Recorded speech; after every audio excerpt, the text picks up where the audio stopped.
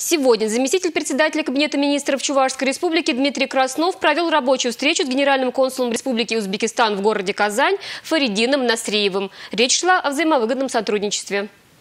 Узбекистан по итогам 2020 года занимает третье место среди стран СНГ, куда экспортируется продукция чувашских товаропроизводителей. В 2020 году экспорт агропромышленного комплекса из Чувашии в Узбекистан составил почти 158 тонн кондитерских и хлебобулочных изделий, 70 тонн картофеля. Взаимовыгодное сотрудничество будет продолжено. У нас э, большая работа по организации системы гарантированных поставок свежей плодовочной продукции – у нас, принципе, сейчас идет э, самого от поля до прилавка использованием зеленого коридора. Уже эта работа ведется нашими предприятиями.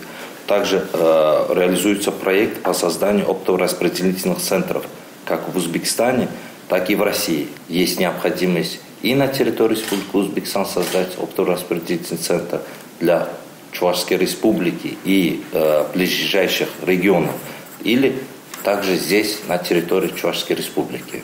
У нас республика компактная, она находится очень удобно э, в самом центре Поволжья, э, на пересечении как и железнодорожных путей, магистралей автомобильных, так и э, значит, есть международный аэропорт.